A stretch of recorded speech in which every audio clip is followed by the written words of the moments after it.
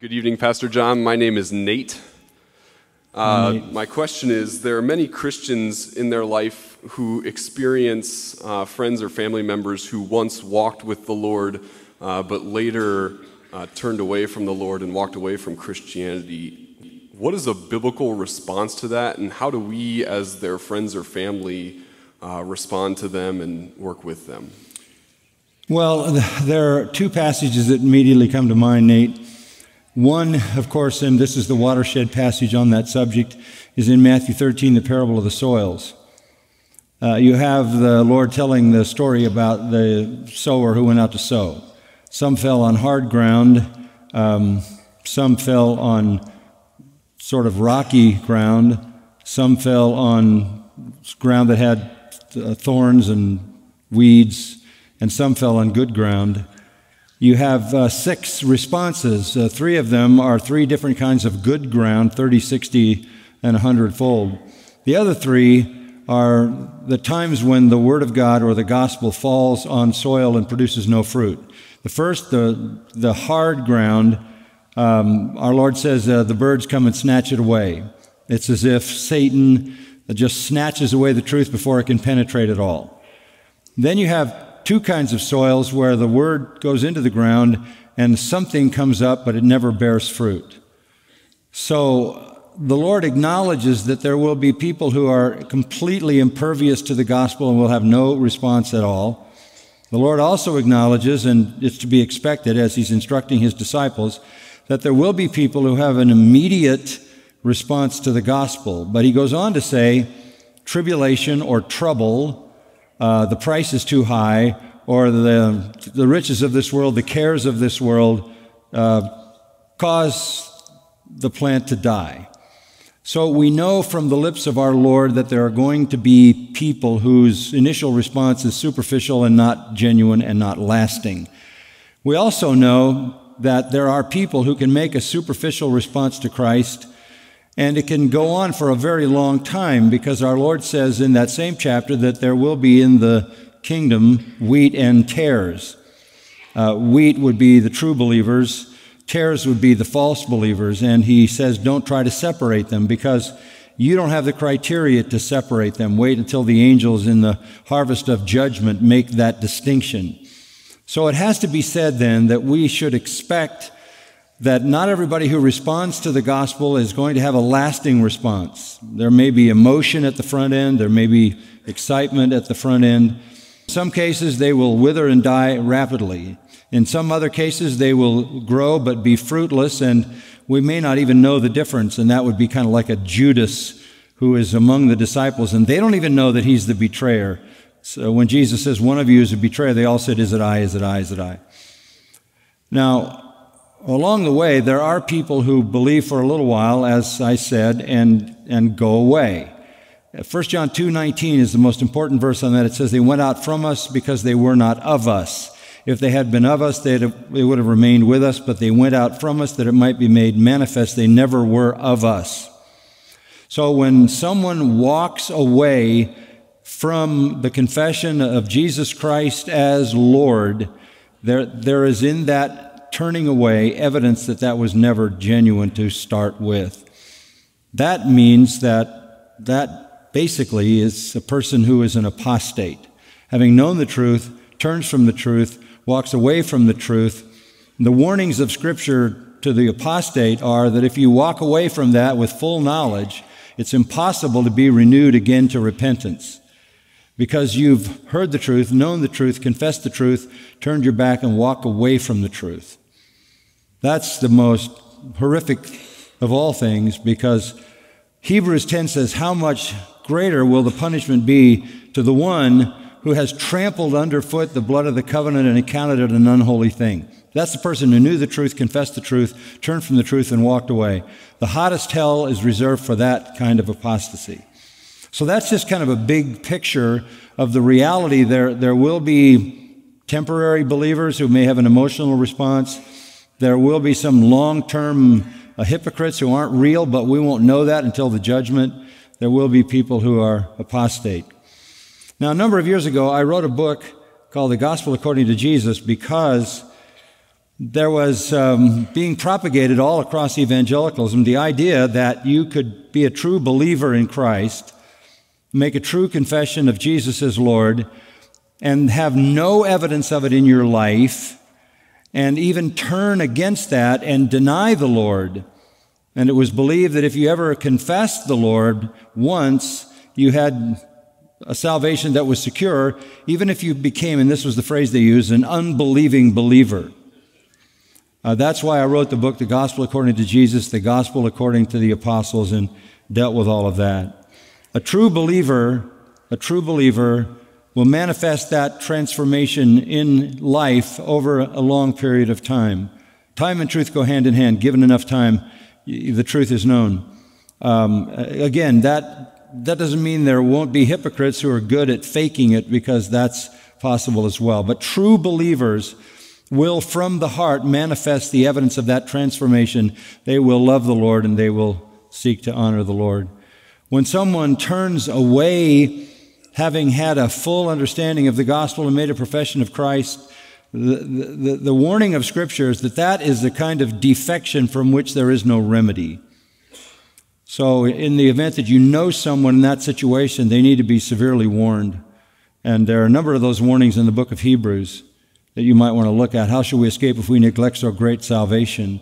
If you know it and you walk away from it, that is the severest. And go to chapter 10, read that section in chapter 10 about the most severe judgment. And again, we, we do understand that eventually the truth is known. Uh, even a fake Christian is known to be fake by the people closest to them. Gen- generally speaking, we might not all know in the church but there are people close to those false Christians who no doubt are having questions. And I would then at that point say, look, if you know somebody who is claiming to be a Christian, but you have very serious doubts about the genuineness of that claim, you need to confront that person about the salvation that they claim and make sure it's real. Okay? Thanks, Nate.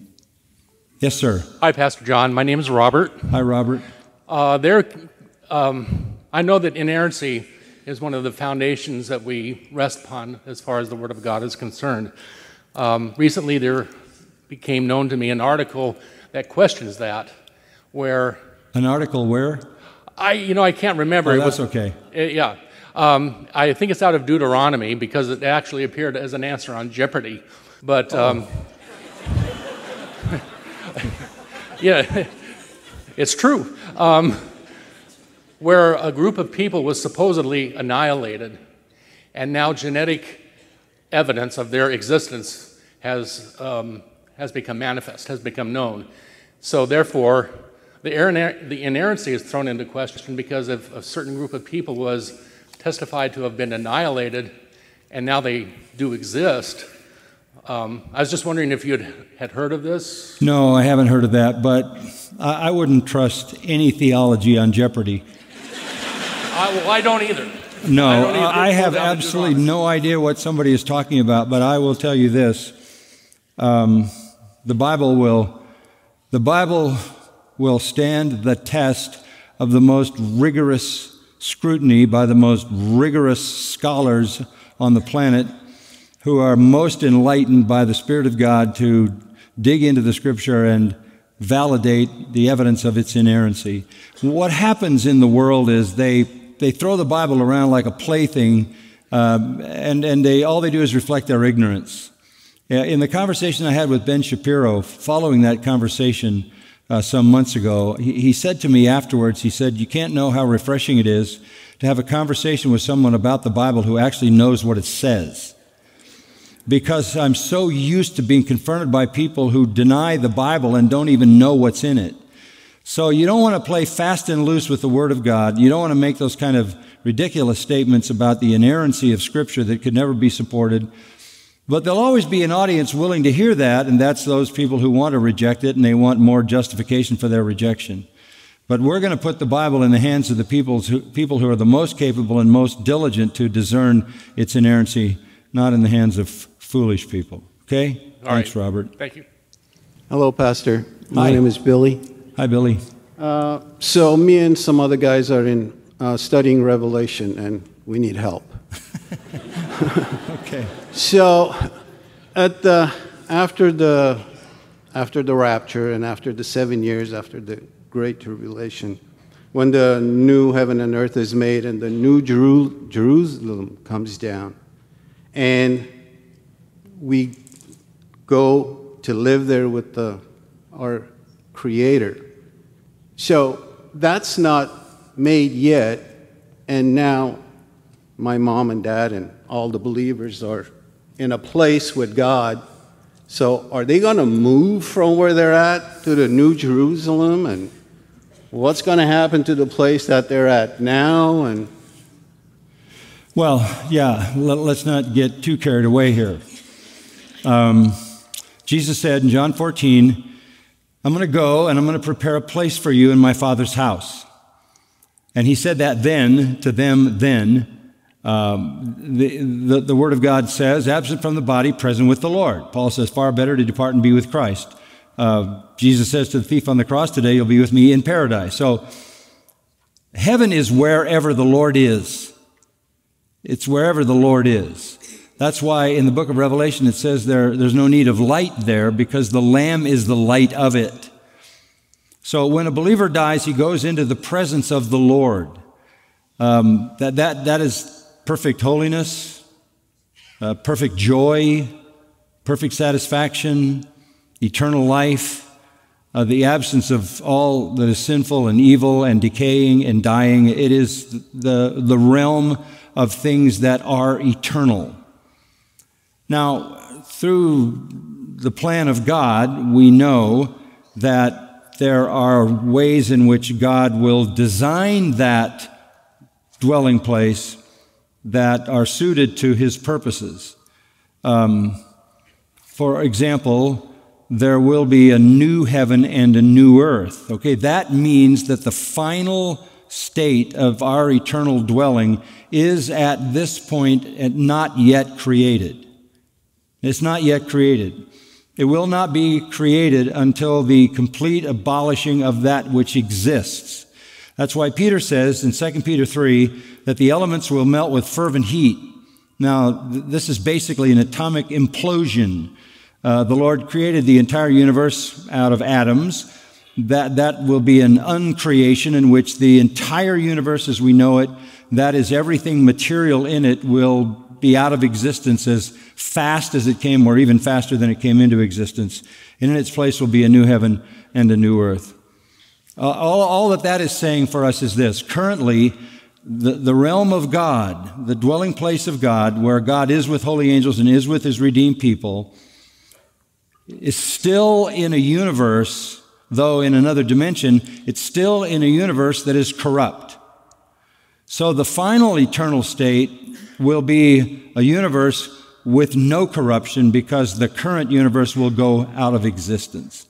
So I, I, from the standpoint of the believer, that there won't be some kind of angelic van showing up in front of their current house to move them to a new neighborhood or a new city. And all that, all that the, the New Jerusalem is, is sort of the capital city of eternity, the throne of God. That is to say that there, there actually will be a throne of God. It is described for us as a cube, I think it was 1,500 miles cubed, uh, the capital city of the new heaven and the new earth. It, it, uh, it is, you could say right now that it, it already is designed it may already be fabricated in whatever way God has done that, but it will eventually become the capital city of the new heaven and the new earth. That's all we need to know. Again, uh, we, we can't get any further into understanding all of that than what is in Revelation. And then, just real quick, in chapter 4, when he talks about the 24 elders, day and night worshiping the Lord. Now, is that in the translation that means all the time? Or is there really day and night? No, there's not day and night. It's just a euphemism for saying all the time. There's no night in heaven, so there's no day. It, it, doesn't, it doesn't operate on, as we do in our solar system. But night and day is just a way of expressing all the time. Okay?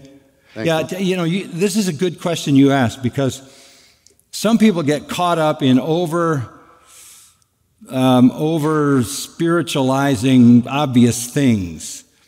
Um, if, uh, if there's a number there, it's probably an actual number. If it's saying day and night, and we know there's no day and night in heaven, it's just a way of expressing a, a, a period of time that, that covers all the time. So, uh, yeah, it, it, just take it at its face value, and what is the simplest explanation is usually the right one. Okay? Thank you. Good. Hi, Pastor John. Hi. Um, hi. Uh, I'm Juliet from Grace Life London. Oh, hi, Juliet Hi. from Grace Life London. Wonderful. Yeah. Um, thank you so much for your ministry here and serving the Lord so faithfully. Um, so, I have a question. Since I'm a believer, can the devil influence my thinking on any part of my life, including my dreams? Did you get that? Yeah, there's nothing in Scripture to indicate that the devil can access your mind in some supernatural way. Okay? Um, the, the greater is he that is in you than he that is in the world. The Holy Spirit lives in you. If the devil is going to access your mind, he's going to access your mind through what he does in the world around you. Right. And you're going to be picking up and observing things that are happening in the world around you. Uh, you are the temple of the Spirit of God, which you have of God, and you are not your own, for you are bought with a price. The Lord bought you, purchased you to become His temple. You are one with Christ. Christ is one with you. You are in Christ. Christ is in you by virtue of the Spirit of Christ that dwells in you. Uh, it, it's as if uh, what Jesus said, uh, what the Bible says concerning Jesus, that Satan had nothing in him. Right. There's, there's no reason to think that Satan has anything in you, but he has a whole lot going on around you because he's the prince of the power of the air. He's the God of this age, the God of this world. And as such, he controls the environment that you're living in, and that environment obviously creates uh, realities that capture your thoughts. So it isn't that you, it isn't that you need to chase the devil away. Mm-hmm. He, all you have to do is resist him. He's on the outside. You, you resist him and he will flee from you. But no, uh, if you have a bizarre dream, that bizarre dream is probably likely related to some idea, some notion, some thought that mm-hmm. settled in your mind at some point and, mm-hmm. and uh, involuntarily uh, popped up. Don't, don't overthink your dreams. Thank you. Thank okay. you so much. You're welcome. Thank you. Um, hello, Pastor John. Uh, my name is Aaron, and I'm a junior at UCLA. Um, Throughout the centuries, um, Orthodox Christians have upheld God's immutability, uh, meaning that He doesn't undergo any change, um, and also His simplicity, uh, meaning that He is not composed of any parts, but is of one pure, self existent being. Um, at the same time, though, we also know that the Word, um, Jesus, became flesh. So, my question is how do we understand the incarnation of Christ without compromising on God's immutability or simplicity? Well, it's, it's pretty simple. When we talk about God's self existence, theologians call that the aseity of God. God cannot change because God is eternally who He is. God is not becoming. Everyone that God creates is becoming. That, that means we're in some life process moving from one thing to another. There is a kind of theology that has floated around, particularly over the last 20 years, that wants to say that God is in the process of becoming.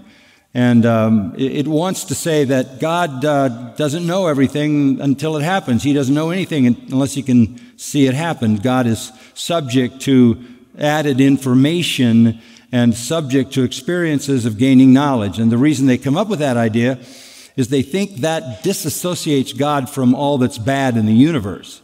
If God doesn't even know about it, then he can't be blamed for it. The truth of the matter is, God is not becoming, God is. And God is who he is. I am that I am. That's why the, the first person singular verb to be is the name of God. I am. He is not becoming anything that he is not already. He is eternally the I am. So we don't know, we don't experience life like that. Life for us is all a process. You saw little babies up here, you see people at all ages here. We're all in the process of becoming. That is not true of God. Now, does that mean that God cannot appear in some form. God could appear in a flame of fire in the Old Testament. God could appear in a whirlwind in the Old Testament. God could appear as, as an angel, as the angel of the Lord in the Old Testament. And God, who is God, the I am, can appear in human flesh and did that in the person of Jesus Christ. That did not advance or alter or change his nature in any way. That's why Hebrews 1 says that God spoke in his Son, who is the exact representation of his nature in human form. That was very important for us for two reasons. Reason one, so that he as man could die for man, and two, so that he as man could live a righteous life that we could see. It's one thing to try to understand the attributes of God in the invisible reality of God. It's, it's quite more clear to understand the attributes of God in the visible life of Jesus Christ. There we see what love and kindness and mercy and tenderness and righteousness and all look like. So, Nothing in the nature of God is altered. Nothing is changed. Nothing is subtracted. Nothing is amended. Nothing is moved uh, to another place. God is eternally I am. He is not becoming, but He can and did manifest Himself in certain ways and in the ultimate way in order to be the substitute for us and to demonstrate what God looks like in a, in a form that we can comprehend. He came in the flesh in the form of Jesus Christ. Now, that had nothing to do with any altering of his nature. That's why, even as Jesus, he said, um, You don't need to tell me what's in a man. I know what's in a man. I can read their minds. That's why he said, I can, I can call legions of angels if I, I want. All the, all the deity of God, in him the fullness of deity dwells, says the Apostle Paul. So there's no altering of his nature. Okay? Okay, thank you. Good question. Uh, hi, Pastor John. Uh, my name is Christian. Hi, Christian. Uh, my question is on uh, children, actually. On what? Uh, on children. Sure. Suppose um, a child, five years old, as young as five years old, um, believes in Christ as Lord and Savior. You know, believes in His death and resurrection mm-hmm. for salvation. Loves to serve in the Lord, um, correctable uh, by His word should we, as parents, recognize that to be true faith, or should we actually dismiss it? Well, further. No, you should not dismiss it. There is no reason in the world to dismiss it because you don't know. Um, I have said this through the years. Anytime a child ever affirms faith in Christ, you affirm that. You, you praise the Lord for that. You thank the Lord for that. And you encourage the child with that. The worst thing you can possibly do is deny what a child affirms as something they believe. The fact of the matter is, a five year old in a Christian family is very likely to actually believe that.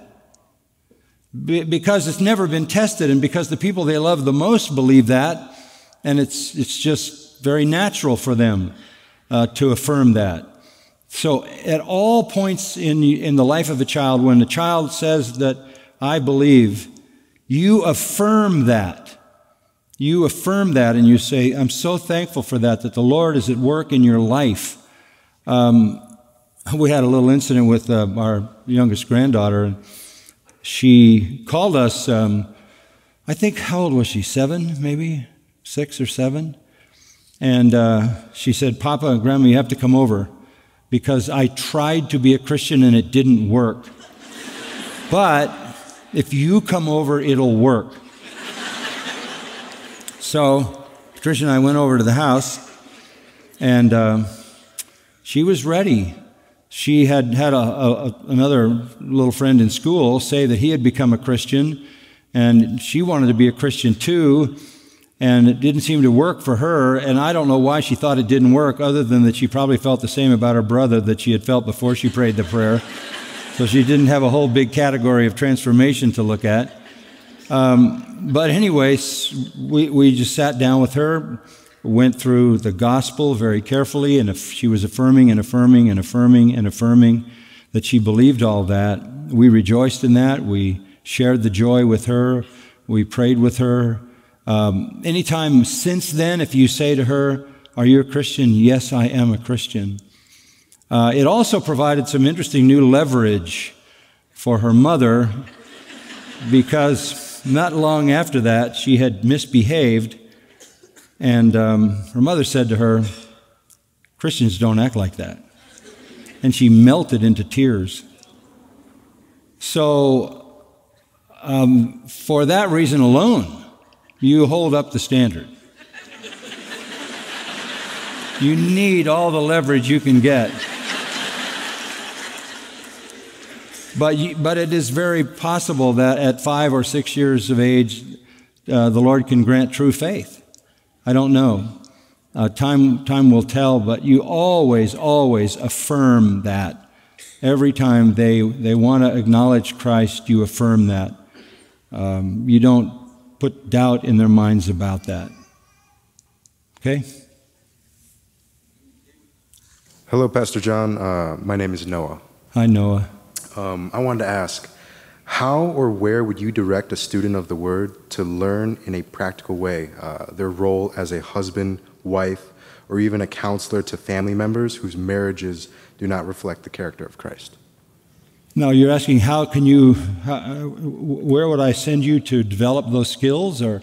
I know that uh, Ephesians 5 22 yeah. through, uh, through 6 4 um, is all on that, but what would be a practical way if you've read that many times and you apply it to your life and you try to your best to do that, what are some practical ways to incorporate that? Yeah, I, there's a lot of good resources. Um, I've written a number of books. There's a lot of books in the bookstore that'll help you interact with that truth. But I want to I want to go back and make it as simple as I possibly can. Look, um, you're to love the Lord your God with all your heart, soul, mind, and strength, right? That's the fulfillment of the law, and your neighbor as yourself. So, the whole of Christian living is loving God and loving the people around me. That, that's not complicated. And that kind of love is sacrificial, unselfish, selfless uh, love. So, the, the, the simplest illustration of that is in John 21, where Peter has again disappointed the Lord. He was told to obey. He goes to Galilee. He's supposed to wait till the Lord comes and he's going to commission him into ministry. And instead, he gets his boat and is fishing and he gets all his buddies, and all seven of those disciples go back to fishing. And this is a, this is a serious disobedience on his part, and he led the others in it. So the Lord confronts him and he asks him three questions. And they're the same question three times Do you love me? Do you love me? Do you love me? And it almost seems simplistic.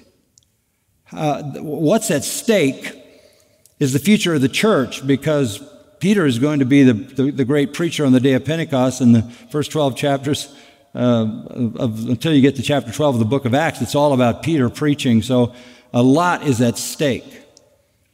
And the Lord wants Peter to preach, He, he wants Peter to, to, to do the ministry. So here is a guy who has failed so many times, he's lost his own self confidence. He uh, doesn't trust himself. And the Lord says to him, Do you love me? And then he says, Do you love me? And then he says, Do you love me? And I won't go into the details of the conversation, but this is the simple understanding of what it means to follow Christ. Do you love me? If you love me, you keep my commandments. If you love me, you do my will. If you love me, you honor my name. If you love me, you do that which pleases me and glorifies me. And I think in, in a marriage, it's the same thing.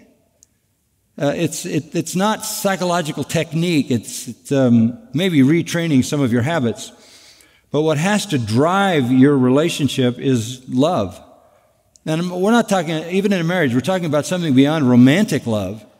We're, we're talking about sacrificial, selfless love. So, consciously, in my mind, I think, when I think about Patricia, what can I do that will bring her joy and spiritual benefit. Whatever that is, I want to do that. I want to do that, and I, ne- I want to do every, uh, that all the time and never anything but that. So it's, it's a constant uh, work of selfless giving for the spiritual benefit of your partner. I don't think, I think if you start navigating this thing with a lot of confusing um, gimmicks or little tricks and things like that, you know, go on a date, do this, do whatever, pick a date night every week, that, that doesn't do anything. I mean, you ought to do it once in a while, but um,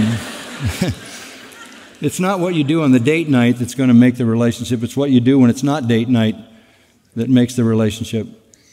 So I, I think you just need to continually ask the Lord to give you more and more and more love for your spouse. And to love Him supremely and to love your neighbor as yourself. And the nearest neighbor is the, the one in your house.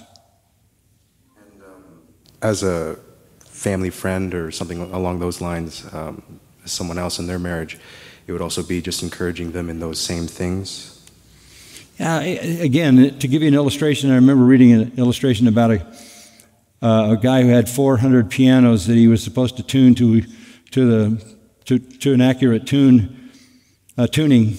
And uh, at first he tried to tune 400 pianos to each other, and then somebody brought him a tuning fork, and once they were all tuned to the tuning fork, they were all tuned to each other. I think it's just, uh, it's just focusing on loving Christ and in loving Christ, the, the, I mean, the, the, call to the husband is love your wife as Christ loved the church. Um, you, you, you are to love him uh, supremely, and everything else falls into place. And encourage people that way. And listen, what stimulates that love is not absence from the church or absence from the Word of God, but communion with the Lord in His Word and with the people of God and, and listening to the Word of God being taught. Okay? Thank you, Pastor John. You're welcome. Family and us, uh, we're all praying for you. So thank you thank so you. much. Thank you. Hi. Hi, I'm Alina Bahadarian. And What's your name again? Alina. Alina. Hi.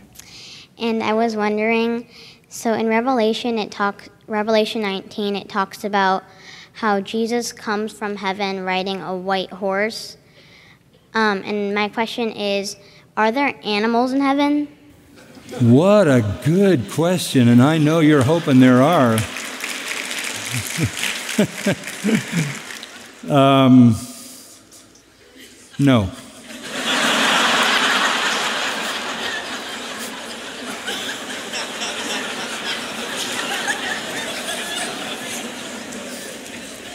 Which, somebody said, means there's also no shovels in heaven. So, um,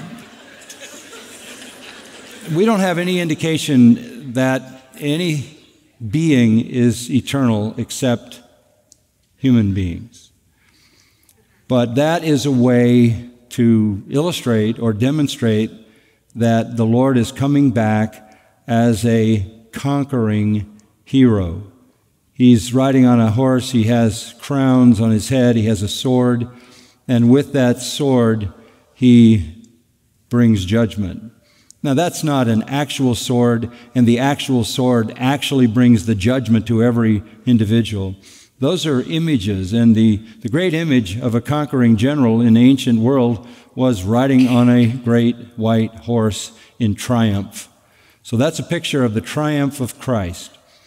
But heaven is, is for holy angels and for redeemed people. Now, animals are a common grace. We all enjoy animals. Um, some, some of you are so attached to your animals, the thought that they're not going to be in heaven is disturbing to you. But they are creatures for earthly comfort that will play no role in the perfect comfort of heaven. Okay? Thank you. You're welcome, honey. Good question.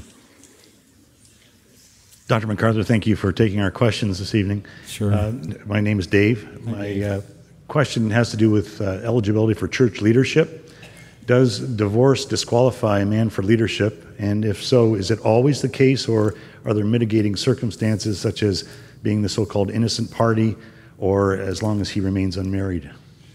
Well, it depends on what kind of church leadership you're talking about. A pastor or an elder explicitly is to be a one woman man. Um, that, that's not only commentary on him having one wife, that's obvious, but it's a, it's, a, it's a demand that he be completely faithful and loyal to that one wife, and that he have demonstrated the, that he has managed his own household well. Um, this is because pastoral ministry in, in the church is, is not only a teaching position, it is a modeling position. It is an exemplary position. That's why Paul says to Timothy, be an example to the believers in word or deed. That's why Paul says, uh, follow me as I follow Christ.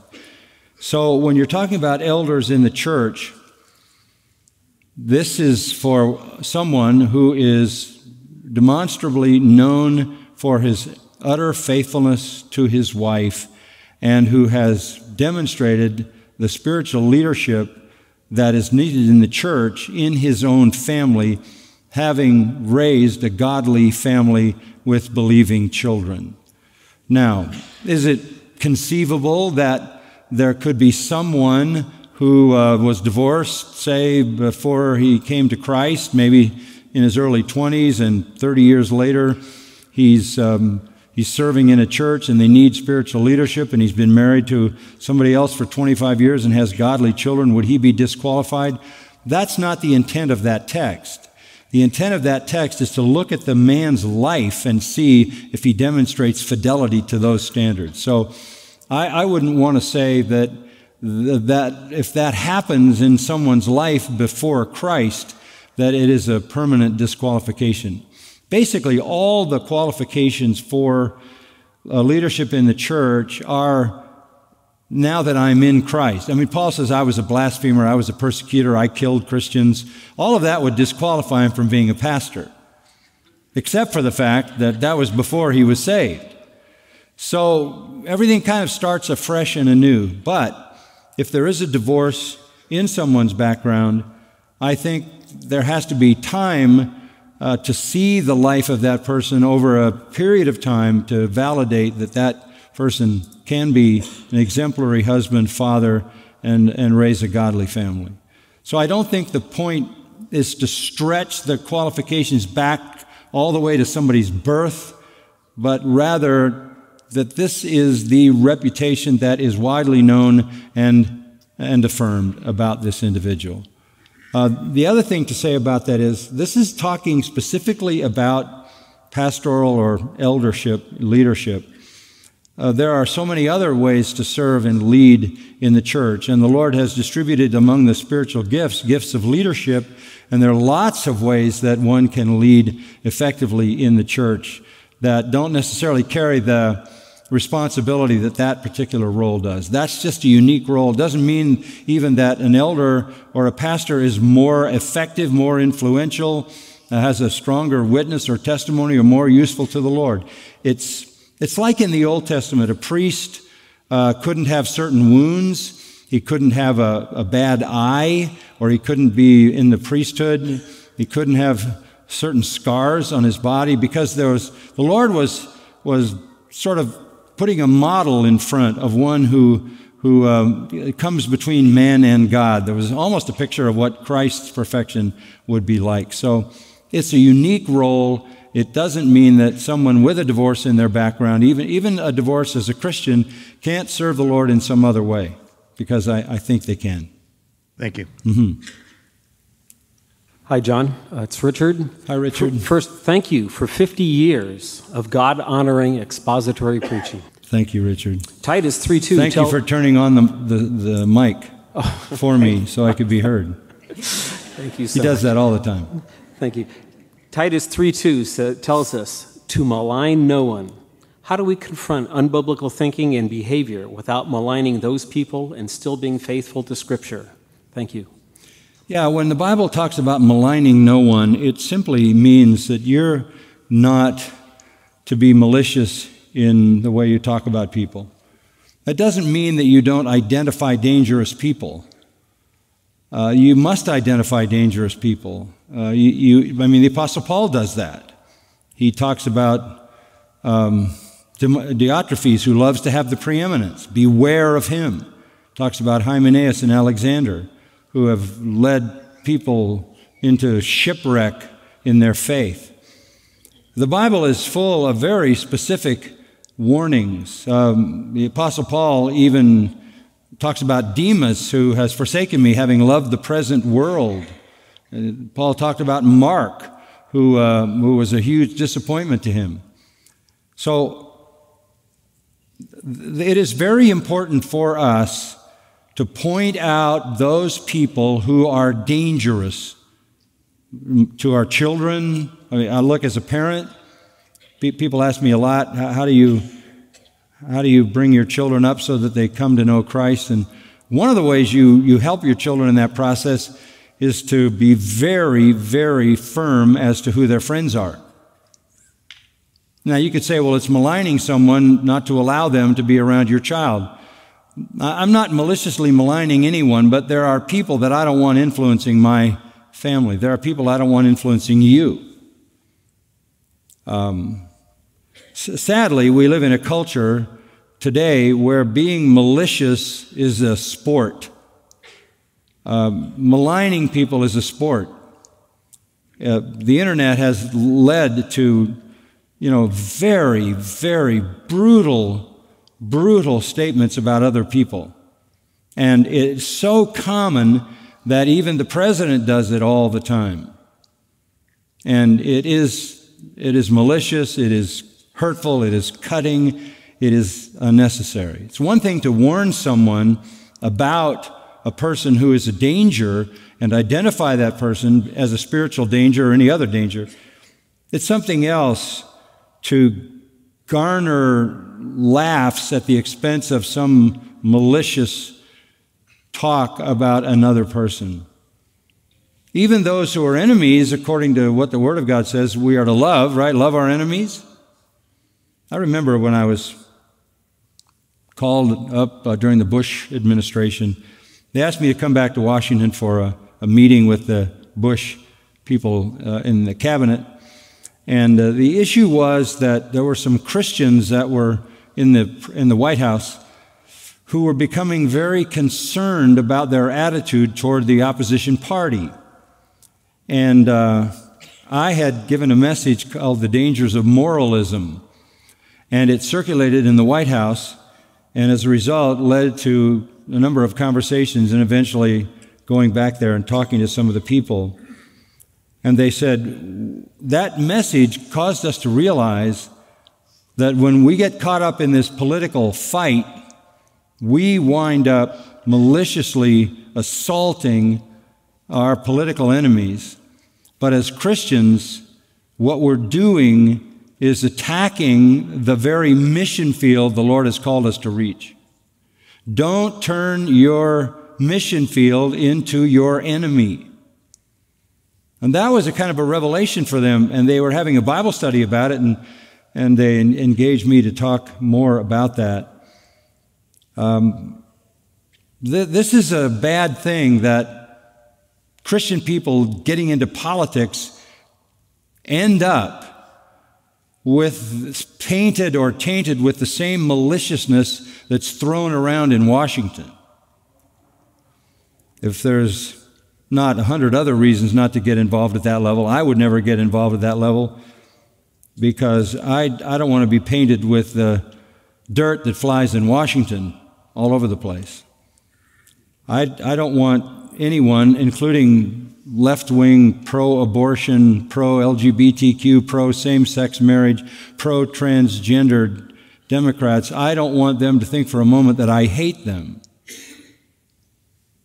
While I certainly don't affirm what they believe, and I could never bring myself to vote for a platform that put all that in as the direction the country's going to go, I don't need to turn them into an enemy by being malicious.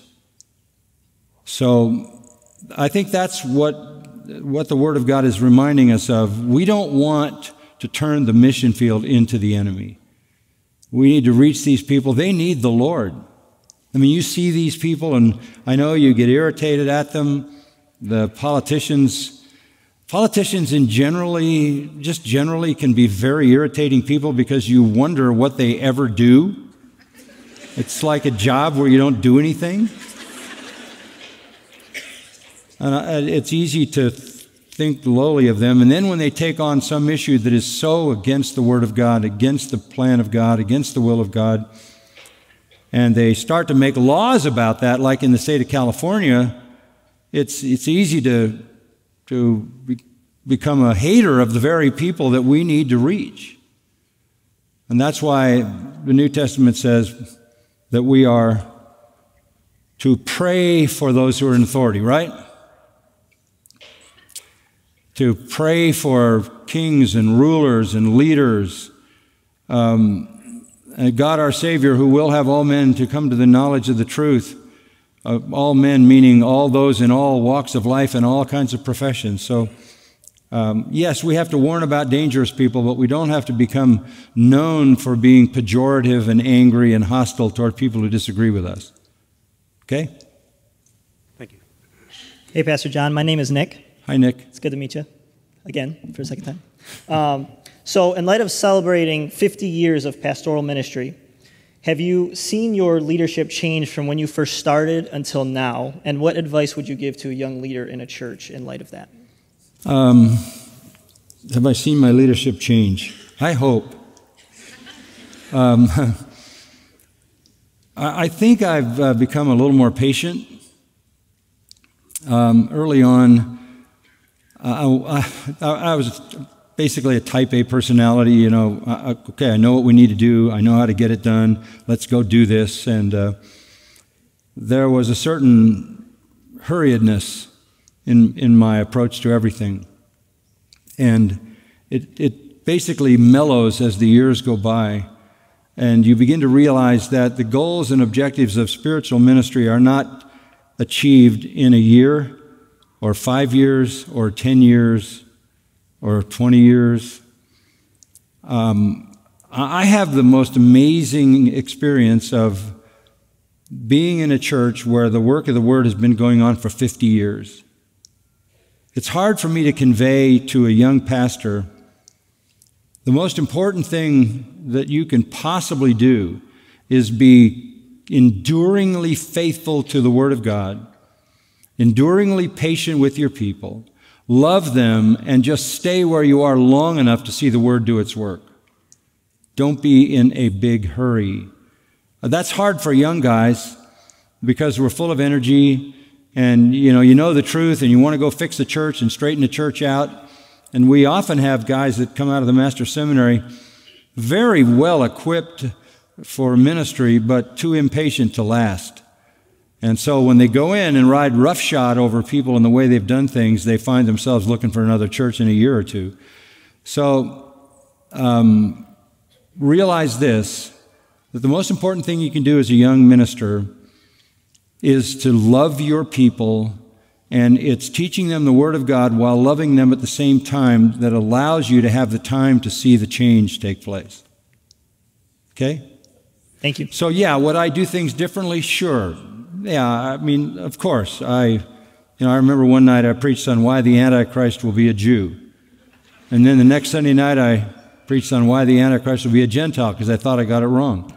Sure, you, you, I don't know which tape I finally landed on, but you can find out. there are things that you would always change about ministry, but I'll tell you one other thing. And this is so very important. In the end, it is your character that attracts people close to you.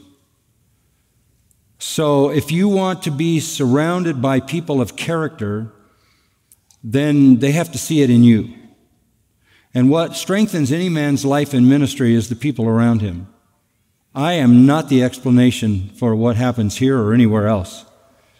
It is all these people that the Lord has collected around me. I, I basically have a simple life. I, um, I get oatmeal Sunday morning, Patricia makes with brown sugar and fruit. I come down here, I preach a few times, and then all this other stuff happens. And it happens because the, the truth and the integrity that backs up that truth gives validity to the ministry and attracts people who are attracted to, the, to that integrity. It's the integrity of your life and the faithfulness of your teaching. And it's a slow process. Um, from the beginning, I used to say, I want to do two things preach the Word of God, hopefully through the New Testament, and train men. And through the years, I have, I have not attracted men who don't want to do what I do, but I have attracted men who want to do what I do. And that's what makes ministry so powerful, is you're just multiplying yourself again and again and again and again. I mean, if you take a, the kind of a pastor that has a, a rock and roll church and does some kind of shtick, you know, on a platform, and he's a kind of a cool dude uh, communicator, he's not going to attract expositors. He's going to attract those kinds of people, those kinds of people who are interested in theatrical display. That's not a formula for building a great church. Maybe a formula for getting a, an, an audience. But if you're faithful in teaching the Word of God over the long haul, it's amazing how cumulatively this and exponentially this begins to explode. My whole life has just been this continual flow of men coming here who want to do what, what I've done, and, and not necessarily a style, but with integrity, teaching the Word of God and building a church according to what the Word of God says. So, uh, just be patient. And I, I've said this many times. You worry about the depth of your life and ministry, let God take care of the breadth of it. You be who you need to be and watch the Lord collect around you the people who want what you are doing to be the mark in their life. And as the Lord grows that, it'll multiply. And one day you'll wake up 50 years later and say, How did, it, how did this ever happen? So I'm not the explanation for it. But the, the nature and character of biblical ministry is what attracts men with that same conviction. And that's why, you know, if you, if you had a non biblical ministry and just keep attracting non biblical people, the thing spirals completely out of control. But if you have a biblical ministry and you keep attracting people committed to biblical ministry, it just gets richer and deeper and broader and higher and wider. And that's what we've experienced here. Does that help? Yes. Thank okay. you very much. Thanks. Hi, I'm Judah, and Hi, I'm Judah. going to How old are you? six. Six. Wow. I'm going to uh, ask, what's the youngest um, that you can go to seminary? What is the youngest that you can go to seminary? Judah, you're old enough to go to seminary. You just can't stay there. So, whoever your mom and dad are, they need to get you over to that seminary and give you a full tour and plant in your little heart what might be in the future. Okay, you got to get your mom and dad to give you a, get somebody in the seminary, give you a personal tour so that you can experience now in a way that'll indelibly plant itself in your mind what may be the Lord's plan for you in the future. But having said that, you really have to be like 21. Okay? Thank you, yeah. Judah.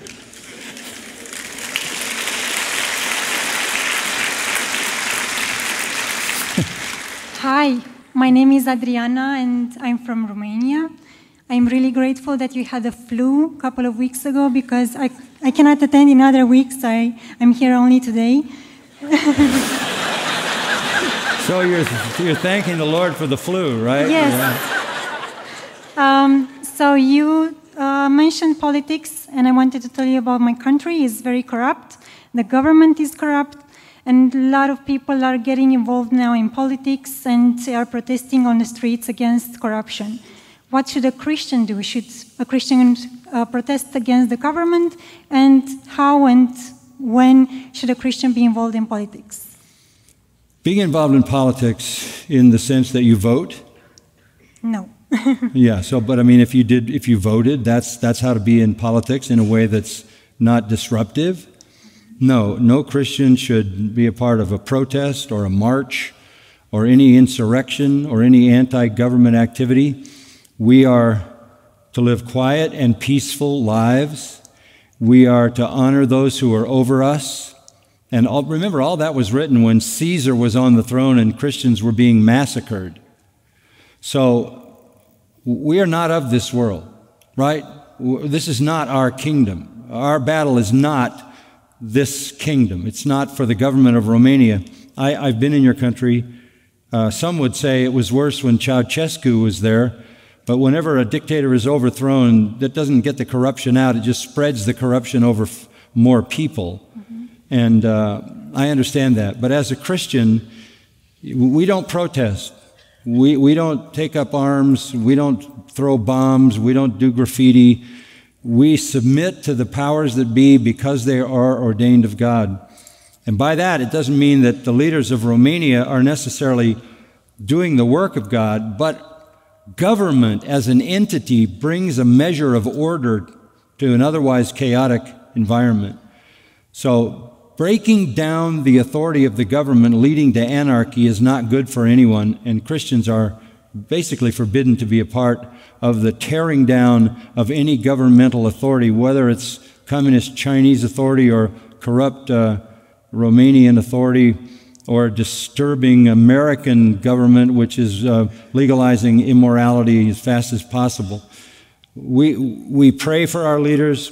We submit. We lead quiet and peaceable lives as good citizens of this world, knowing that our citizenship is in heaven, and we fight for the eternal kingdom, uh, not for political change on the surface. This is what I was saying in that message on the dangers of moralism. When you're just getting in a battle to change the external morality of a government, you're dealing with things that are temporal and superficial. And one other thing to say about it. I pointed out this week at the Truth Matters conference that we're living in Romans 1. When God judges a nation, he, it says in Romans 1, he gave them over to um, immorality. We had sexual revolution. That was the judgment of God. Then it says in Romans 1:26, he gave them over to homosexuality. We've had a homosexual revolution. Then it says in Romans 1:28, he gave them over to a reprobate mind, a mind that doesn't function. And I used to wonder, what is that? A mind that doesn't function? That's when you're a man, you think you're a woman. That is insanity. But that's where we are. Now, you could say, well, I don't like this. I'm going to fight against it. Remember this a sexual revolution followed by a homosexual revolution followed by insanity that leads to all kinds of iniquity, is the judgment of God.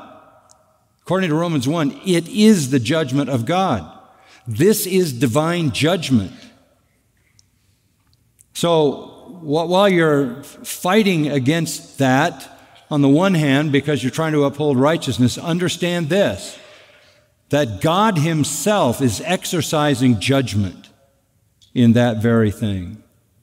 So we don't want to get caught up in what God is doing in a society other than with the work of the gospel. Okay? So glad you came. Thank you. I'm so glad I came. Thank you. Thank you. Thank you.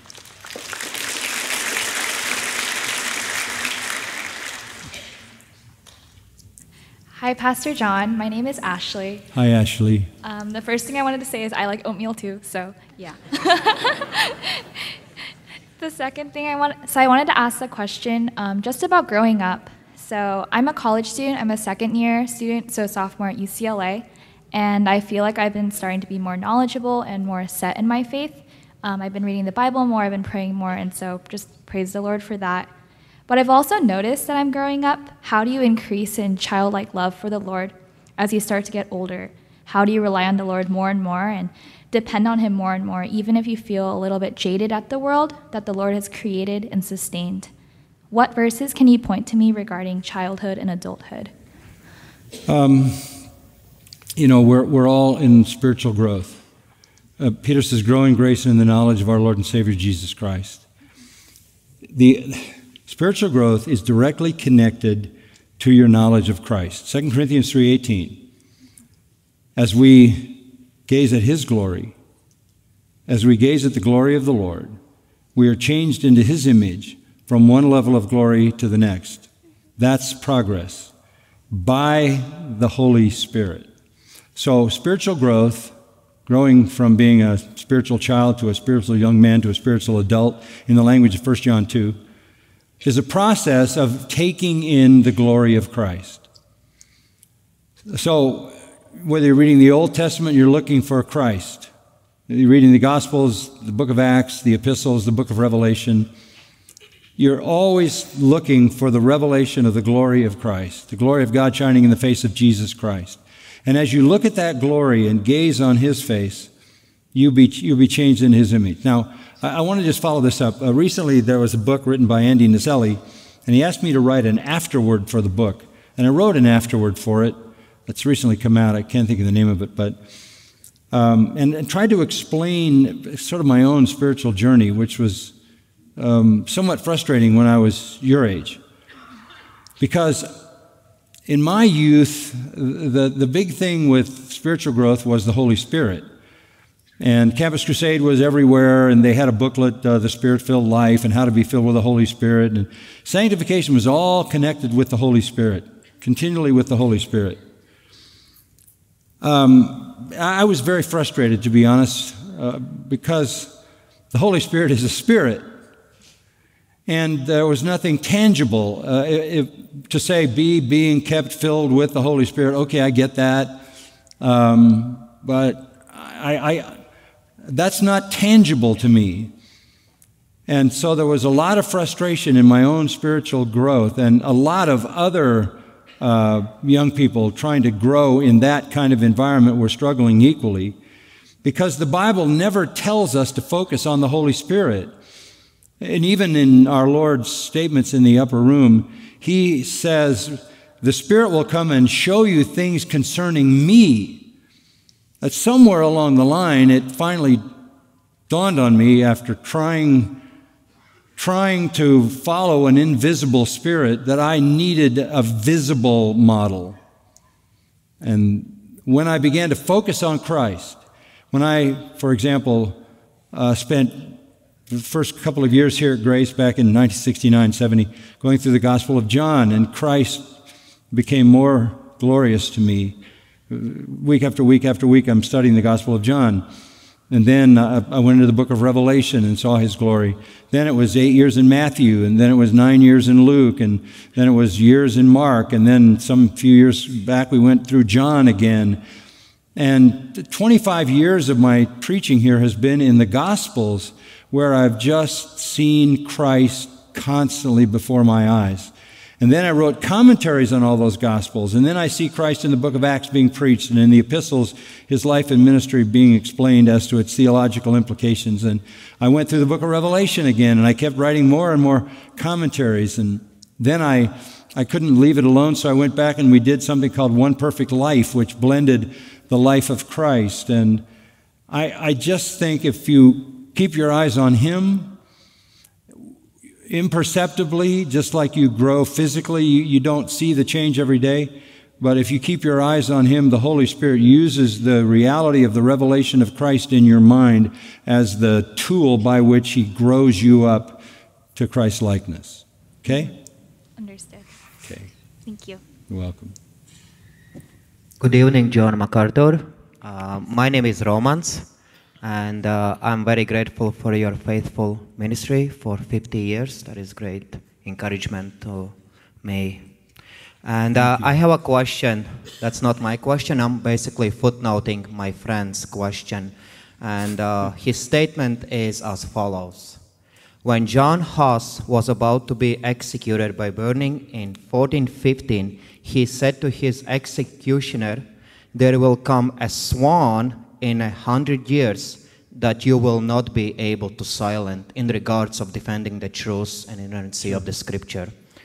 Martin Luther seemed to fulfill this prophecy. So then the question is, did John Huss have the gift of prophecy? Does the gift of prophecy existed during that time and does the uh, gift of prophecy exist right. right now? Well, it depends on what you mean. The gift of preaching exists, the gift of predicting the future does not. But John Huss, I don't think he said in 100 years. I can't remember exactly. Uh, it would be John, uh, Martin Luther came to, into existence 68 years later. No, I know that, but I don't know that John Huss identified that it would be 100 years or exact time. John Huss did say uh, because Huss means goose. So Huss said, You may kill this goose. That's where the phrase cooking the goose, your goose is cooked, comes from the martyrdom of John Huss. He said, There will come a swan you will not be able to silence. And if you look at medieval art, you often see a, picture of Huss painted, and it's a picture of Huss and part of the painting, and picture of Luther, and behind Huss is a goose, and behind Luther is a swan. All Huss was saying was that you're not going to be able to stop this Reformation. Uh, there will come a swan. I don't think that that was prophetic. I think that was hopeful. I think he was trusting in the purposes of the Lord. Now, um, it was the Bishop of Constance who sentenced Huss to death. Um, and it was to the Bishop of Constance that Huss said, You may silence this goose, but there will come a swan you will not be able to silence. And he was, he was speaking in humility because a swan is more beautiful than a goose, and he knew the Lord would provide someone else. Um, there is a fabulous reality. There's a church in Erfurt.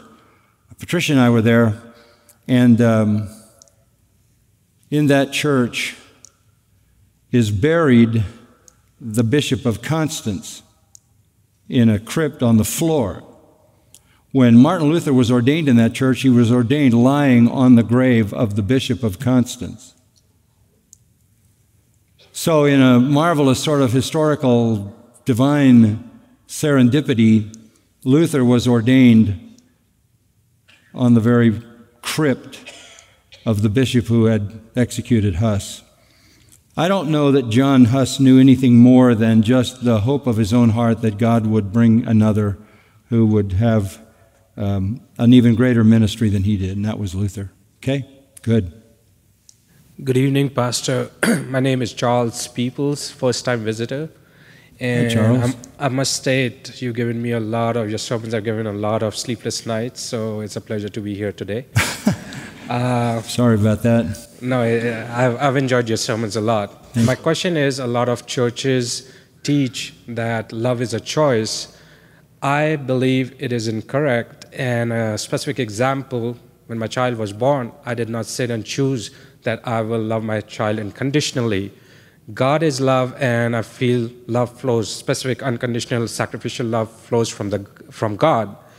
So, irrespective of what my child does, I will continue to love him till I'm alive. So, is it correct to teach that love is a choice? Well, it's just too simplistic. Love is a command. Love is a command to start with. It's a command. We are commanded to love love the Lord our God with all our heart, soul, mind, and strength, and love our neighbor as ourselves. Uh, in the New Testament, we are commanded to love. Love one another is the fulfilling of the whole law. We are to be known by our love. Uh, by this shall all men know that you're my disciples, that you have love one for another. So it is a command, so that anybody who doesn't love God and love others is in violation of that command. Culpability enough to send people to hell forever comes for just not loving. You don't need to be a criminal. Uh, the, the, the sin of omitting love to God and love to others is enough to condemn to hell. So, first of all, it is a command. For believers, we go one step further. For believers, it is an expression of their regeneration. John says in 1 John, How do you know someone's a believer? By their love. By their love. And John even says, if you see a man in need and you don't meet his need, how does the love of God dwell in you?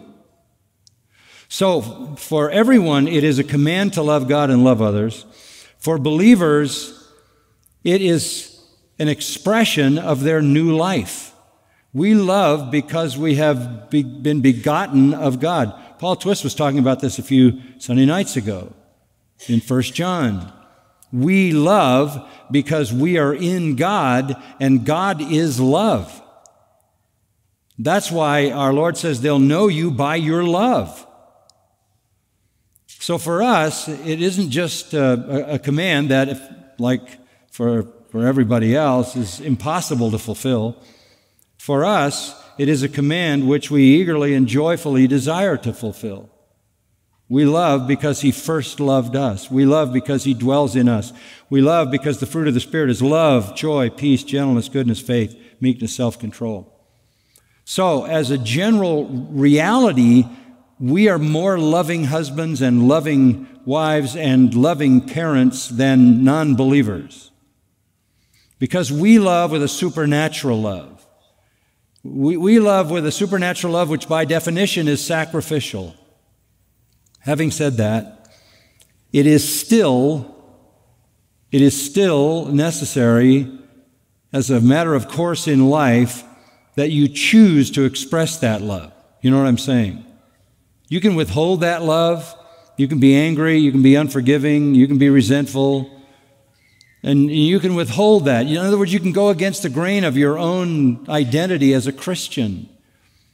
If you love, uh, the Apostle Paul says, may your love excel more and more, which is to say that that means as believers, we could love a lot more than we love. So we do love by nature, but we need to love more. We need to be more devoted to the, the work of the Holy Spirit, so the fruit of the Spirit is love. And that would come down then to cultivating that love as a conscious reality. What I was saying earlier, uh, I just want to express my love. That's the goal in every single relationship I have. That, that goes beyond my own family, even. I, and I'm always in a very difficult situation because I'm the guy who has to say this is true and that's not, right? So I, I mean, I basically live as an offense to most people. That, I, don't, I don't like that necessarily, but I accept that responsibility.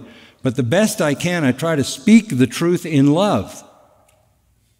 And I would, I would, I would hope that, in, even though there's strength and dogmatism in preaching the truth, that I would be known as someone who expresses that in love. That, that's a choice.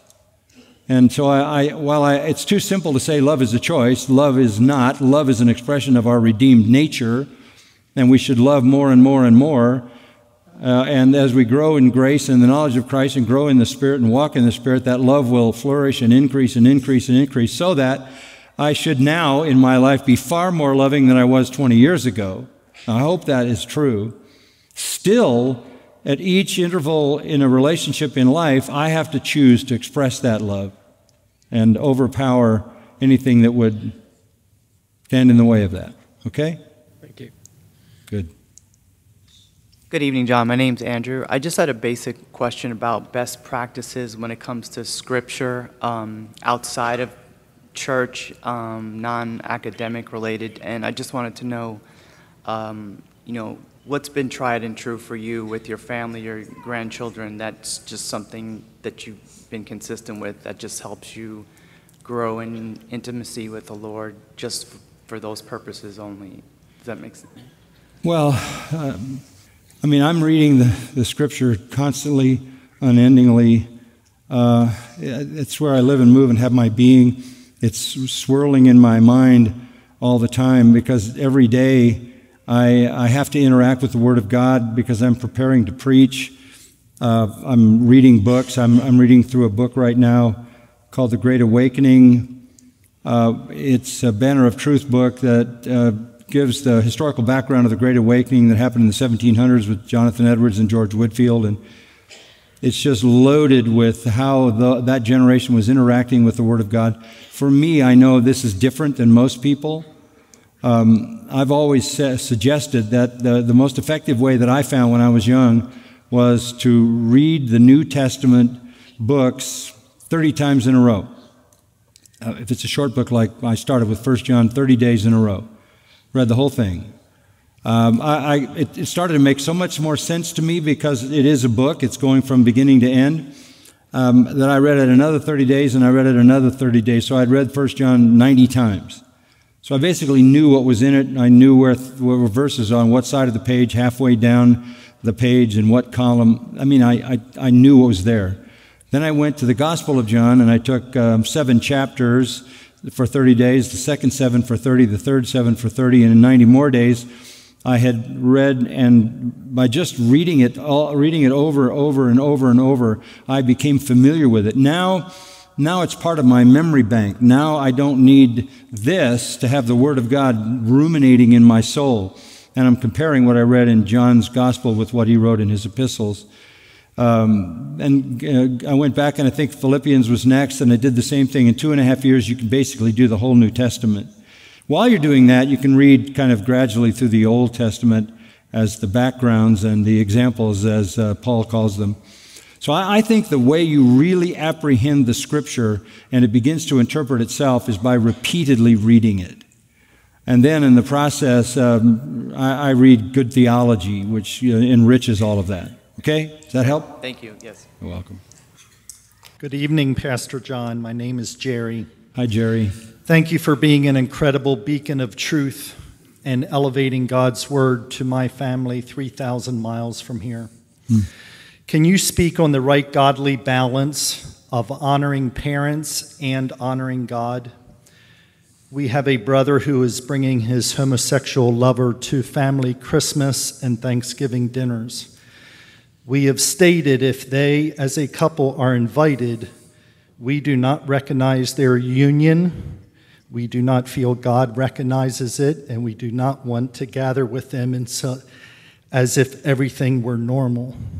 We are being ostracized by our parents, our siblings, as being unloving and a poor example of Christ's love for sinners because Christ mainly hung out with sinners while he was here on earth? Well, here's, here's the answer to that. You need to say, okay, we want to do what Christ did, so we will come and confront them with their sin. And we'll do that because that's the most loving thing to do. We will be happy to be there if uh, you, you will allow for us to have a time in front of the whole family to address the sin and to warn them of the direction of this sin and its uh, ultimate eternal consequences and call them to repentance. That's a loving thing to do. It's not loving to come and act as if nothing's wrong. So, under those circumstances, you would be doing what Christ did you would be confronting their sin. Because Jesus said he did not come to call the righteous to repentance, but sinners. So, what did he do when he was with those sinners? He called them to repentance. That's the loving thing to do. That might change the dynamics a little bit. If, if they refuse to allow that to happen, then uh, I perfectly understand your desire not to be there in some tacit approving way. Okay? Hi, Pastor John. Hi. Um, this, uh, this question. This question comes uh, in light of the last Q and A that you did at uh, the Truth Matters conference. Oh yeah. Okay. Uh, I have a concern about uh, someone who is having a lot of influence on young men in our society who provides common sense direction for living in this world. The problem is that it is giving them a false sense of understanding of true righteousness when they follow this when they follow the directions of this person, Jordan Peterson, mm-hmm. right? Um, it gives them the sense that they are doing well as men, but it obscures the real state of their being and need for Christ. Um, I was wondering if you have any plans um, of meeting with Jordan Peterson in the future. Well, I'd be happy to meet with him. Uh, Jordan Peterson is a, uh, a phenomenon in the world today. He's a psychologist who is basically saying that you are completely responsible for your situation. You can't blame anybody else. You're not a victim. You are responsible. And particularly with men, he, uh, he says basically to be a man is to take full responsibility.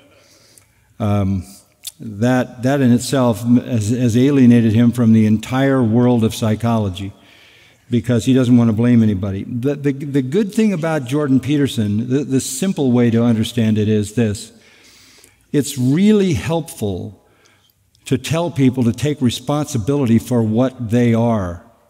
That is a helpful reality. But by his own confession, he does not acknowledge that he believes in God or Christ or the gospel or the Bible. Um, again, um, a, doctor can, can do good. Um, an exercise therapist can do good on a human level.